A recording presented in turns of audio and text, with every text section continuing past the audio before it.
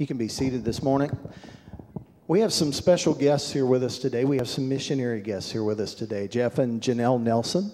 And uh, before they come, I wanted to introduce them a little bit. Jeff and Janelle are somewhat new to me, uh, as we're new to Alaska, and they're missionaries up here. But I got a chance to get acquainted with them just briefly at our network conference a year ago, and then have been in communication with them a little bit off and on through the year, and bumped into them a couple places up at True North and in Fairbanks, and and different times. One of the neat things about being family together is you don't realize all the connections. We just found out this morning that our kids are familiar with their kids and, and you know the circle goes around now i know they're not new to our church family as well they have a history with our church family here and they are missionaries that we support on a monthly basis they are also in their deputation or itineration time during which they also have some additional cash to raise and get the opportunity to come and connect with the church families and it's really an important part of what you do as a missionary. When our family was traveling, sometimes when we were overseas on the field, some of the strength in what you were doing was knowing that even though you were standing there by yourself that day, you knew you really weren't alone. It would flash through your mind all the churches that you had been to and visited with, all the people that you had met, all the ones who'd picked up prayer cards and said that they would pray for you. And it was like in that moment, you knew we're not alone. We're not alone in this. We're in this together. And so I'm delighted to have them come and be here with us today and get to share their ministry with you. God is doing some great things through their ministry. I've had the opportunity to hear about a little bit of that firsthand, and they're going to come and share with you. And uh, I want you to meet them today. They'll be out in the foyer as you go out this morning. Make sure you stop by and greet them and talk with them. Take one of these prayer cards. Remember to pray for them.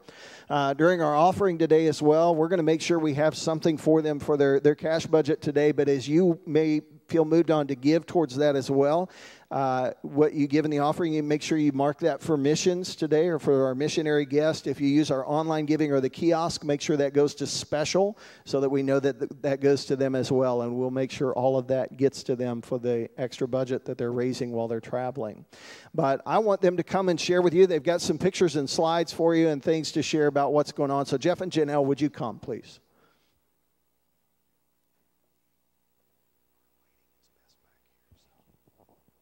Thank you, Pastor Lance. It's a joy to be back here at Eagle River at Kingsway, and uh, we love getting to know your pastor. It's good to see Pastor Jack and Ann here too, and God bless you folks. And and uh, um, we are um, working.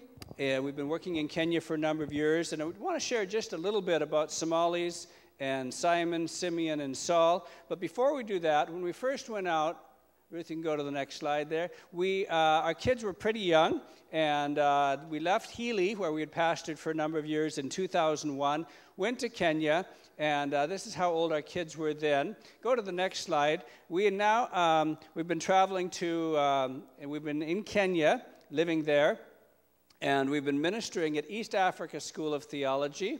This school, uh, um, God helped it to grow. We were training 129 pastors when we first went there. Uh, by the time I became president, we had 330 students. And eight years la- later, when we left, God had blessed us with 1,764 students to train. And we had the privilege of uh, planting churches, um, going to unreached people groups. And so um, we, we actually planted 22 churches while we were there. And one of the real privileges we had was to go to uh, the Rendille people, and we have a magazine at the back, and uh, this tells the story of how we were able to go in and live among the Rendille, not live, but uh, take a number of teams and, and be there among them. We saw this unreached people group become a reached group. Planted four churches there, saw over 4,700 people come to Christ, and God did a marvelous thing, and so we're so grateful for that. Uh, these are some of the places that we traveled to and, and took our teams and planted churches around Kenya. Go ahead. Our family now has grown, and so uh, this is our new tribe. This is uh, our kids and grandkids, and, and uh, we're so blessed by, uh, by each of them. Josh and Alicia just moved to Palmer here about a month ago, so they're not far, far away. They, they returned to Alaska. The Somali world where we want to go and to minister next. Uh, it's a very difficult place.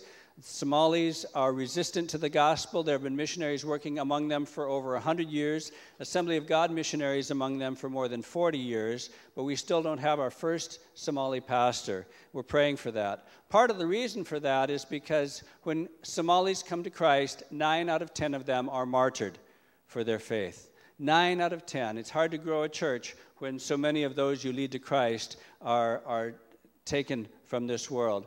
But uh, I was praying and wondering how we're going to reach them if, if missionaries have been trying to reach them for 100 years with very little fruit. But then I heard a message on Simon the fisherman. And, uh, and uh, Jesus said to Simon, Put out into the deep and cast your nets for a catch. And you know, Simon had fished all night. He said, We have fished all night and caught nothing. But because you say so, Jesus, we're going to go and fish again. And because of that, there was this tremendous harvest of fish. And I believe that we may have nothing different to give to the Somalis than other missionaries who've been there for 100 years. But because Jesus says go, we're going to go believing that this time, again, we're going to see a harvest. And God is so good to us in that. Also, um, there was a man named Simeon about three chapters early in Luke. Simeon had believed that God would not allow him to die until he saw the Messiah. And so he prayed for that, and one day Jesus, in, as a little baby with Mary and Joseph, walked in. And he said, Ah, oh, sovereign Lord, now you can allow your servant to die in peace because I've seen your Messiah, Jesus. How did he have that vision? I don't know.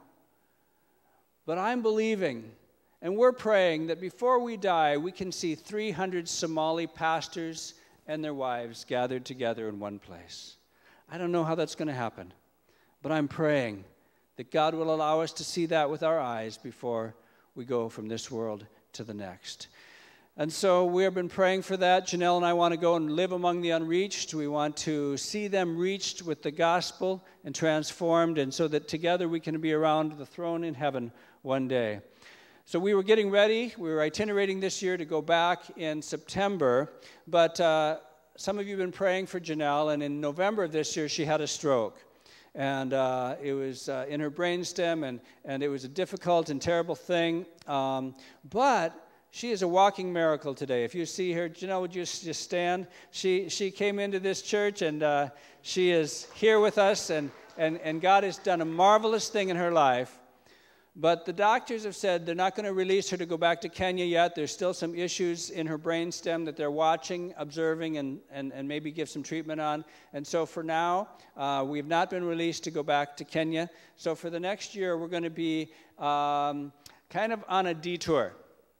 I, however, don't think we're alone. Saul was wanting to go to the province of Asia, and God stopped him.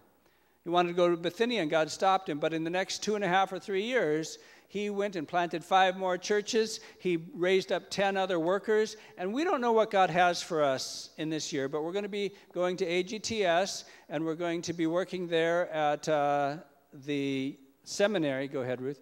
And uh, we know that we're just going to wait until God opens that door but in the meantime, we want to see what God will do as we help to train and educate missionaries in the master's and doctoral programs of Assembly of God Theological Seminary in Springfield, Missouri. So that's where we'll be the next year.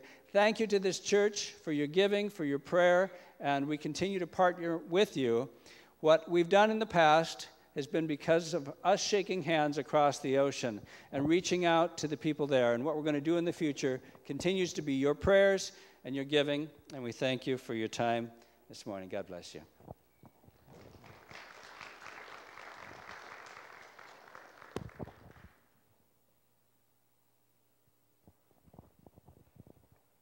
I don't think we can ever grasp quite enough how much the beauty of what God has done in us is that He's made us family. And we're family together. We have relationship together and we love each other, and it's because of His love for us that we've been made that family.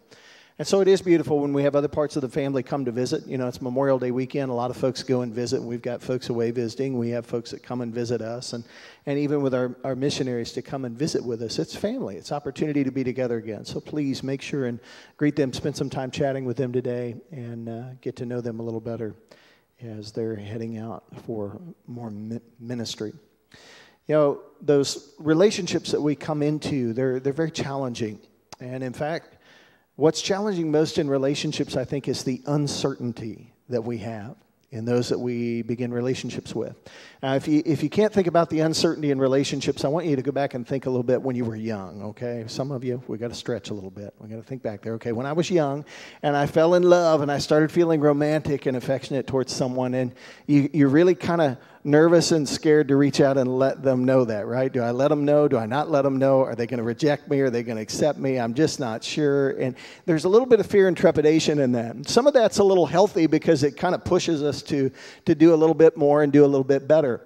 But over the long term, if we don't begin to feel better in that relationship, if we continue to be afraid in that relationship, it becomes destructive if there's a continual uncertainty, if there's a continual insecurity in that relationship, that in turn becomes destructive. And so when we love someone, it's very important to be confident in the relationship because fear and insecurity are destructive to relationships. They break them apart, they tear them down, they keep us from being really invested in that relationship. But in contrast, our confidence is, is growing then. The way it gets better and it gets stronger is out of increasing the way that we know that one that we love and the love that we have they have for us. It reassures us and we, we grow in that.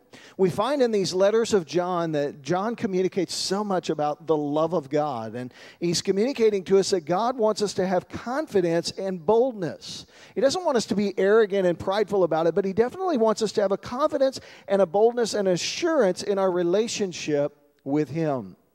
And that bleeds over then into our relationships with others as well.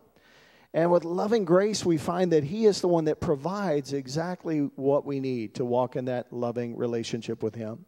We're picking up again where we left off in First John. Appreciated Pastor Allen covering for me last week as uh, sneaked away with my bride for our anniversary celebration. Got to visit Homer, a beautiful place. It was awesome to get down there. But thank you for allowing us a little bit of time away. Thanks to Pastor Allen for, for filling in. But we want to pick up uh, where we left off in First John chapter 4 beginning in verse 1. He says, Dear friends, do not believe every spirit, but test the spirits to see whether they are from God. Because many false prophets have gone out into the world. And this is how you can recognize the Spirit of God. Every spirit that acknowledges that Jesus Christ has come in the flesh is from God, but every spirit that does not acknowledge Jesus is not from God. This is the spirit of Antichrist which you have heard is coming and even now is already in the world. You, dear children, are from God and have overcome them, because the one who is in you is greater than the one who is in the world. They are from the world and therefore speak from the viewpoint of the world, and the world listens to them. We are from God, and whoever knows God listens to us. But whoever is not from God does not listen to us. This is how we recognize the spirit of truth and the spirit of falsehood. I want to share with you this morning a little bit about that confidence that we have in Him. We have confidence, first of all, in knowing Him. You know, there are many voices out there today that want to speak into our lives. Have you noticed that? There are lots of voices that want to speak into your life. They all claim to be for our good, and they all have this great information for who we ought to be, what we ought to look like, how we ought to live, what we ought to do, what life is all about. There are no limit to the voices that want to speak into our lives. And they claim to be for our good, and some of them even claim to be from God. But are they? Are they from God? And more importantly, are they, are they for our good? Really? In the things that they speak. Lots of things that want to give us direction, lots of voices that want us to follow. And John brings that out here. You know, he kind of refers back as we covered in chapter 2 when he talks about the spirit of Antichrist. And he talks, uh, you know, we discussed Antichrist who is spoken of as coming in the end time, but also he says the spirit of Antichrist is present now. That which denies Jesus, that which denies his deity, his godness. You know, in the time period that he wrote, there was a, a, a big problem among those who were excited about, oh, we have good news of salvation from God, but we just can't wrap our heads around the idea that God could be a man, you know, and that Jesus could be God. And so he was facing a problem. But he said, even more than that, there's that subtle denial that wants to use the human reasoning to redefine God and make him be what we want him to be rather than who he says he is. And so he says, we have to learn to test these things that we hear, these voices that want to come and speak to us. All these voices that want to speak into our life. He says, we've got to learn, first of all, to put it to the test. Now, when someone says to you, I have a word from God for you, I suspect some of you probably have a little bit of hesitation, right? I hope you do. Now, I don't want to ever be, I don't want to be discrediting to the point that I won't ever listen to somebody, but I do want to take it with a grain of salt, as we say. If somebody comes up and says, I've got a word from God for you, I will take that and file it away and hang on to that and wait for God to speak it and confirm it in my own heart. Or for God to confirm it through His word, or for God to confirm that again as He speaks. People, well meaning as we are, we all make mistakes, don't we? And sometimes, well meaning in thinking that we do something for God, we may not be where we think we are. And some people just flat out want to manipulate us to what they think is best for us. Paul, even as he went and preached and was planting those churches, as Jeff was talking about, commended the Bereans because as they listened to him preach every day, they didn't just take what Paul said for granted, but they would return to the, the scriptures and they would comb through it and look through it and see if what he said was really true. We need to learn to test the voices. And we need to learn to test those ideas about how we should live in this relationship with Him. Now, in that process, we've got to learn what the test really is. Okay, we're going to test it. We're going to weigh that out. It's more than a grain of salt. How is it that we're going to test it? And John makes it very plain for him. He says, Those that acknowledge Jesus, those that acknowledge the teaching of the gospel that we've presented to you, those that acknowledge that He is God's promise, come in the flesh, our redemption, our salvation, it's the gospel, he says, is the test. And the test for us, even today, and in the situations that we face and the routines that we're in where we have those voices speaking into our life, the test still has to go back to the same it's to the gospel. You know, my reason and my rationale is not the final authority. I may have that grain of salt to stop and say, wait a minute, I'm going to weigh this out, and I don't think that sounds good. Well, it really doesn't matter what I think either. What matters is what the Word of God says what God has spoken, for His word is true and unchanging. And so we have to learn to weigh things out in terms of the gospel. We have to learn to apply the questions that point us back to the gospel. Who is God? What has He done? Who am I? How should I then live? Those are the questions that will guide the direction in how I live and how I follow that advice and those voices that speak to me. Remembering in who God is that God is great. He's really in control, so I don't have to try to manipulate things. That God is glorious. He's the one that gets all the praise, so I don't have to try to please people to make them happy. I live for Him and Him alone. Remembering that God is good, so even when it seems like I'm walking through a difficult path, when I'm walking through the valley, I know that His plans for me are good in the end, and I need to be faithful to it and that God is gracious. He's given His grace to me, and He will see me through. And again, He's the one that I live for. When we remember to put it through that kind of test to say, what then does the Word of God say? Who is God in this situation? What has He done?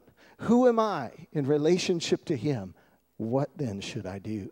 We need to learn to live by those tests. I think there are those who are a little suspicious when somebody comes up and has a word or even about the voices that are out there. But I'm afraid our default too often is to my rationale and my reason. Well, how does that set with me? How does that set with my past experience? How does that set with what I think? There's a danger in that too. We need to learn what the test is. The test is the measure of the gospel and the truth that God has given. He says, in that we have a confidence. He says, we have confidence in our knowledge of Him, and we don't have to be afraid, one, of deception.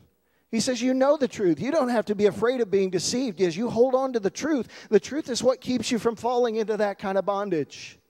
Jesus said, You'll know the truth, and the truth will set you free. Our freedom from that is in Him. We don't have to be afraid of deception or opposition because there will be those who don't listen, just as He spoke about in this passage. As we try to stand for the truth and declare the truth, he says there's some that listen. Those that know God, those that are familiar with the truth, they hear what we say. Those that are wrapped up in the world, they don't listen and they don't hear what we have to say. And so there's friction and there's opposition. And we get frustrated by that. You know, if you want to find out just how frustrating that is, just think about politics today and social values and where things are going. If you want to heat up a room, toss that out in the middle of the conversation and watch them go, you know, because we come from two totally different points of view. And when those two points of view collide, it's not just a matter of a rational explaining of why this is, because there's more that goes to the core of who they are than just the rational thinking about the issue. And so he says they don't listen. But there is an answer. And we know the answer for the opposition is not that rational argument, but something else. John continues, he says, Dear friends, in verse 7, let us love one another, for love comes from God. Everyone who loves has been born of God and knows God, and whoever does not love does not know God, because God is love. This is how God showed his love among us. He sent his one and only Son into the world that we might live through him. This is love. Not that we loved God, but that he loved us and sent his Son as an atoning sacrifice for our sins. Dear friends, since God so loved us, we also ought to love one another. No one has ever seen God, but if we love one another, God lives in us, and his love is made complete in us. See, he's giving us the rest of that puzzle and the rest of the answer. We have a, a confidence also in being like him. We do have an answer for the opposition and for a watching world that's wondering and scratching their head and wondering why we're so strange and these things that we believe and we do. It gives us further confidence at the same time what he's doing in us, our becoming like him. It's being like him in his core characteristic. You know, John makes it so plain. He says, God is love. Last week, we talked about the fact that it's the overarching and the undergirding principle of the kingdom is the love of God. You go back to the beginning, you know, we, we know from Revelation that Jesus was the lamb slain from the foundation of the world. God knew what he was going to have to do. And that's when it rings so powerfully true in John 3:16, for God so loved the world, he did it anyway. That is the driving, motivating force for those who would respond to his love and his grace and enter into this relationship with him. It was worth it. You're worth it. He looked at you and he said, You're worth it. I love you.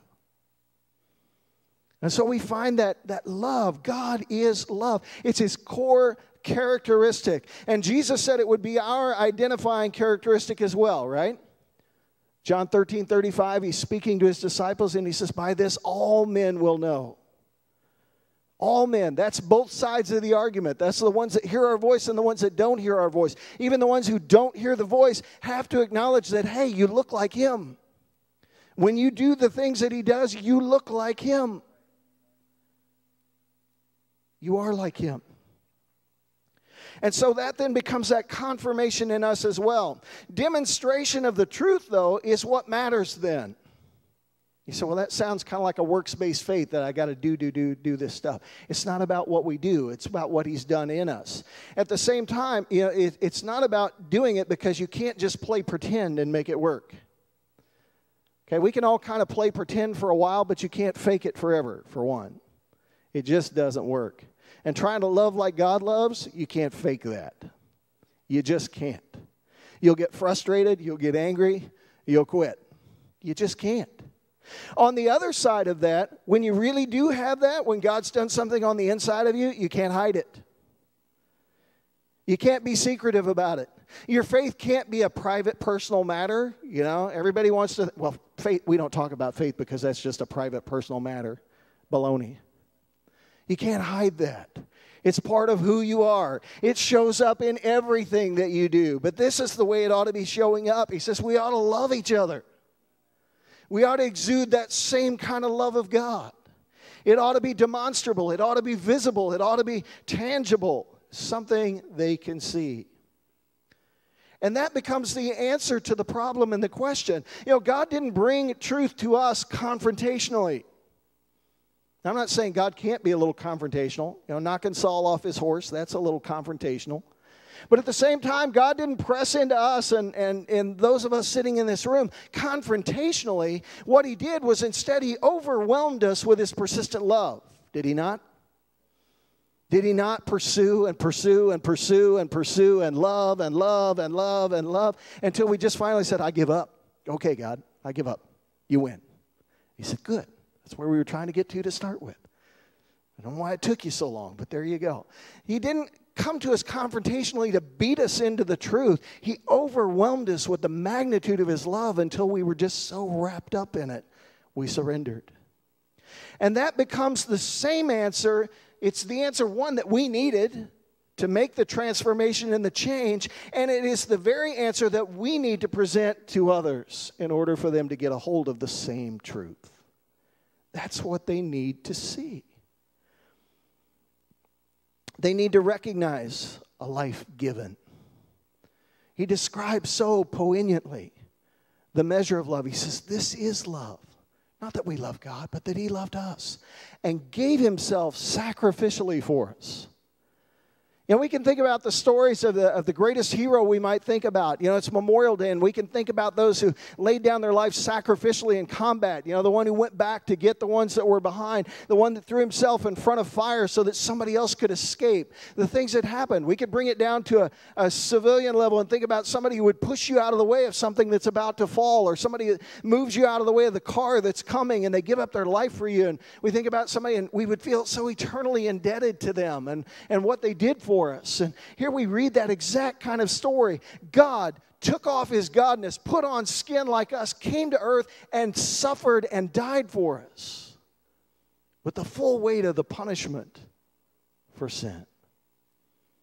God didn't just blink his eye and forgive sin. No, the punishment was carried out in full to the letter. It's just that Jesus took it for me so that he could set me free. That is love. A life given. Greater love has no one than this, than that a man would lay down his life for his friends. And this then becomes the confidence that we have that we really are his, because as that love gets into us, it begins the transformation. We start becoming like him. We start understanding what love really is. What love really is. You know, as a pastor, I've mentioned before, I have the opportunity to do a lot of counseling and work with a lot of couples. And I've uh, been married for 28 years. There's a lot of wisdom in that, too, uh, growing up. And I think, again, back to when I was younger, you know, when, when I got married, I wasn't real smart about this whole love thing. I can tell you that. I didn't have a lot of wisdom. And I think most of us, when we're young in love, we don't. We don't get it.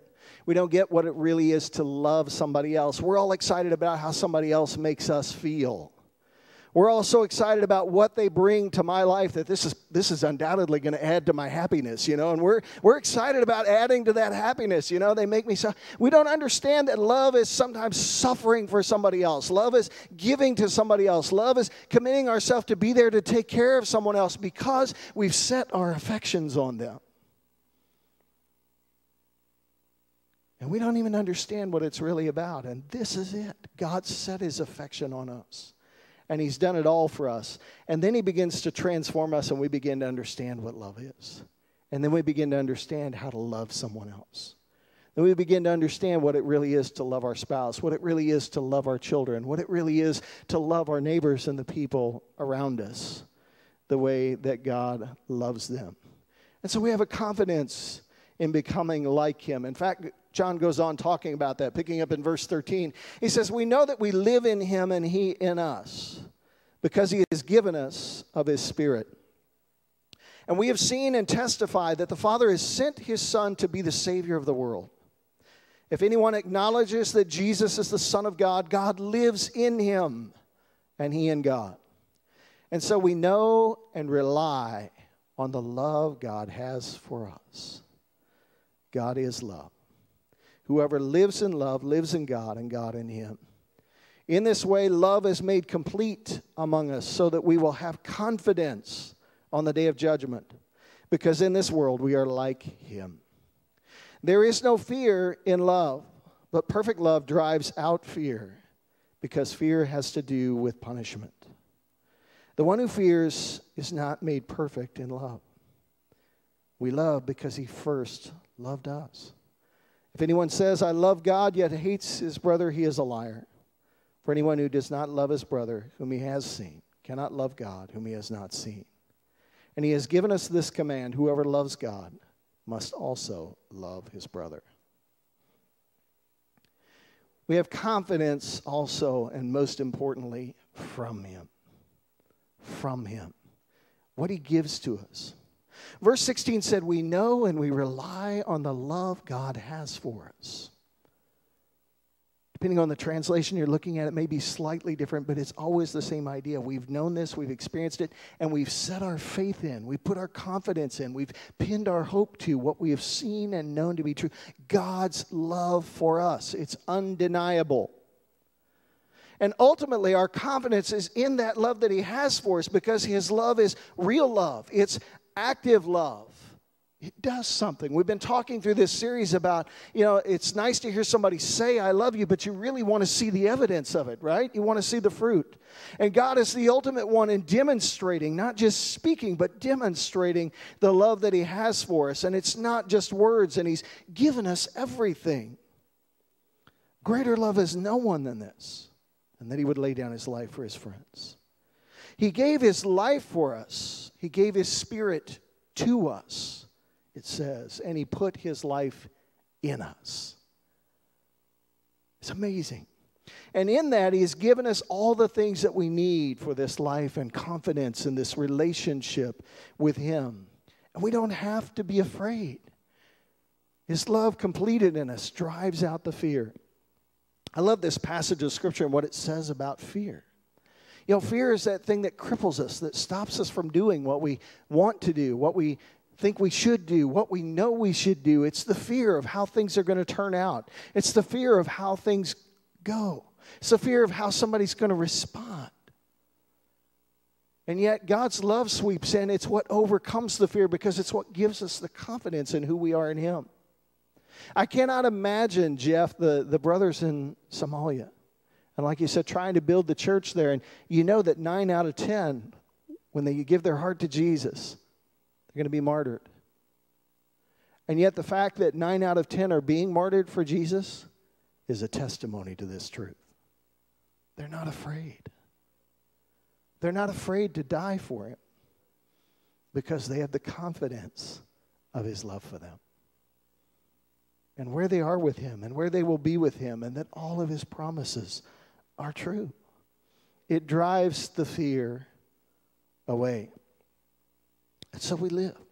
And we have confidence when we are like Him, as it says, and we're not afraid when we are in Him, and we are able, not because of anything in ourselves, but because He is able.